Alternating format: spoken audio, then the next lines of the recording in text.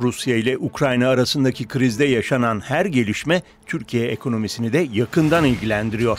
Zira Türkiye'nin turizm, enerji ve gıda gibi çok sayıda sektörde hem Rusya ile hem de Ukrayna ile stratejik ekonomik ilişkileri bulunuyor. Türkiye İstatistik Kurumu verilerine göre 2021'de Türkiye'nin Rusya ile ticaret hacmi 34.7 milyar dolarken Ukrayna ile olan ticaret hacmi de 7.4 milyar dolar olarak gerçekleşti. Ayrıca geçen yıl Türkiye'ye gelen yabancı turistlerin %27.3'ü sadece Rusya ve Ukrayna pazarından geldi.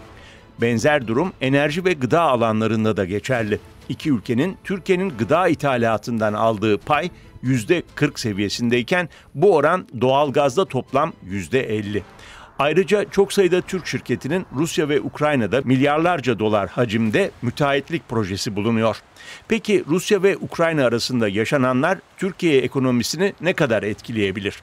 Uzmanlara göre krizin şu anki seviyenin üzerine çıkmaması halinde Türkiye için olumsuz bir senaryo söz konusu değil. Kriz bugünkü şartlarda donarsa ya da tansiyon bundan sonra e, düşerse ben açık söylemek gerekirse Türkiye içinde e, bu, ne, bu açıdan bir tehdit öngörmüyorum. Ancak krizin tırmanması beraberinde Türkiye içinde kritik bir tablo ortaya çıkarabilir. Ama kriz bundan sonra farklı bir evreye e, dönerse, e, gerilim daha da artarsa, Batı ve özellikle NATO daha kapsamlı bir karar alırsa o zaman Türkiye için e, açık söylemek gerekirse bir kıyamet senaryosu öngörebiliriz. İş insanlarına göre olası bir krizden Rusya ve Ukrayna'dan sonra en fazla Türkiye etkilenecek. Burada yaşanacak bir yangın mutlaka komşuya da sıçrar. Türkiye, Ukrayna ve Rusya'dan sonra olası sıkıntı bir süreçten en çok etkilenecek üçüncü ülke konumunda. Bugün Türkiye'ye gelen turistlerin yaklaşık %30'u bu iki ülkeden. Yine yurt dışında 2020 senesinde aldığımız müteahhitlik hizmetleri ihalelerin yaklaşık yarısı iki ülkede. 15 milyar doların üzerinde iki ülkede sermayemiz var. Ukrayna'daki Türk iş insanları şu ana kadar kendileri için bir sıkıntılı durumun oluşmadığını belirtiyor.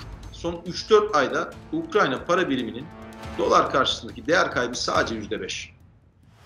Ukrayna'da ekonomi çarkları dönüyor. Bankacılık sistemi tıkır tıkır işliyor. Sokakta Kiev'de hala trafik var. Moskova'da temaslarda bulunan iş insanları ise siparişlerde bazı duraksamaların olduğunu ancak ikili ticarette bir problem görmediklerini söylüyor. Burada fuarda onun yansımalarını çok görmüyoruz. Fuarlar canlı geçiyor, hareketli geçiyor. Ee, gelen e, fuar katılımcılarımız memnun.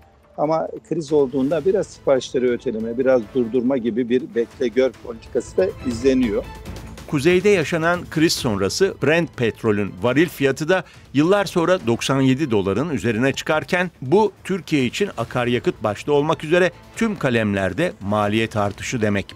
İş dünyasına göre petrolün 100 doları aşması durumunda akaryakıt fiyatları pek çok sektör için sürdürülemez olacak.